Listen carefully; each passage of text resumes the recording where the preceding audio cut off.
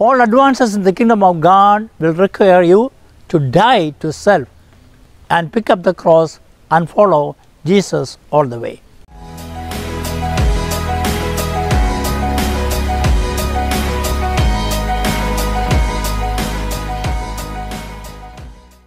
My dear brothers and sisters in Jesus Christ, the sower in today's gospel, as we know, is Jesus.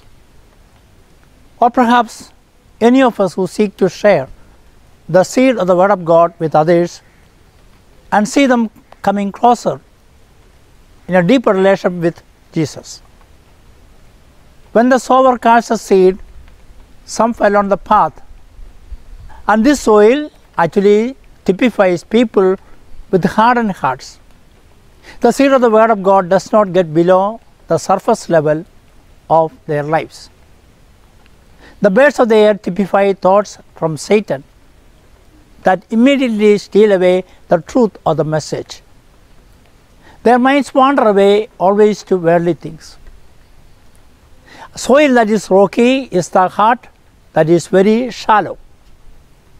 The seed cannot get root down deep enough to gather nutrients or moisture.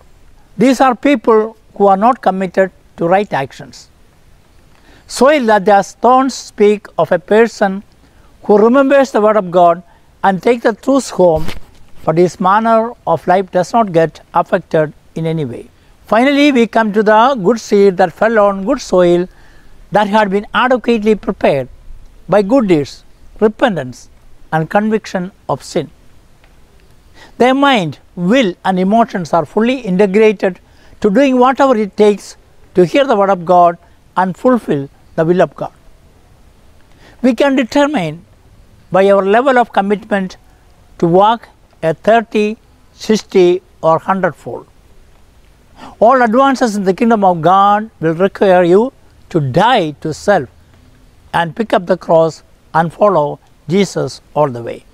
Jesus shows us seed of God's word generously in all types of soil, hoping all the seeds will sprout, take root, and bear fruits in abundance. Like the farmers, Jesus does not control the growth of the seed nor force us to accept the word of God. The call is to prepare our hearts, pay heed to the word of God, and try to yield fruits in abundance.